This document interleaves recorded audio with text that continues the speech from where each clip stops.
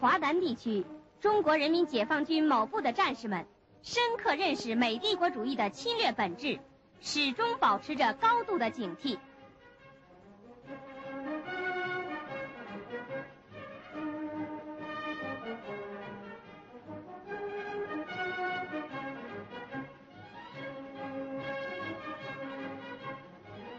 战士们发扬夜老虎的光荣传统，苦练水上杀敌本领，进行夜间武装泅渡。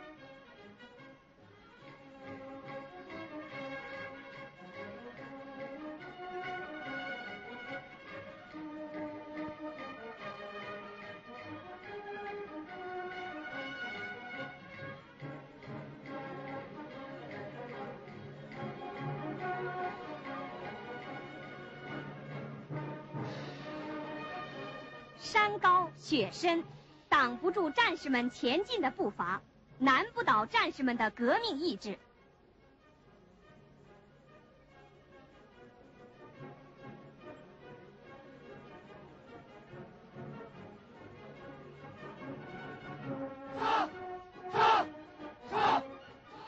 人民解放军西藏边防部队某部二连，把高山雪地作为练兵场。